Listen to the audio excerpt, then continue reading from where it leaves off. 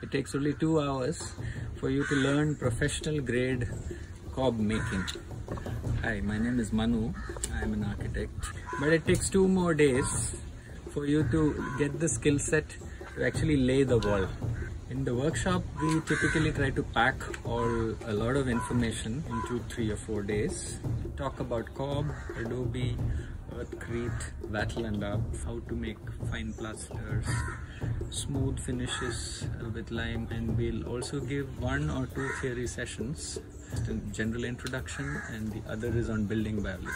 Materials that we work with uh, range from earth to waste materials to plant-based materials. I had children from um, age of four or five in workshops to more than 80 years old. So anybody who is open, who's able to keep their phones at bay, who's able to get their hands and feet, feet especially dirty or muddy.